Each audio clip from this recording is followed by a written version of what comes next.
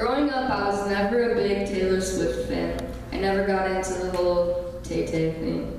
But recently, I've gotten, you know, back into it, and I heard this song in a movie soundtrack, and it's called Safe and Sound by Taylor Swift, and it's one of my favorites right now, so here it goes.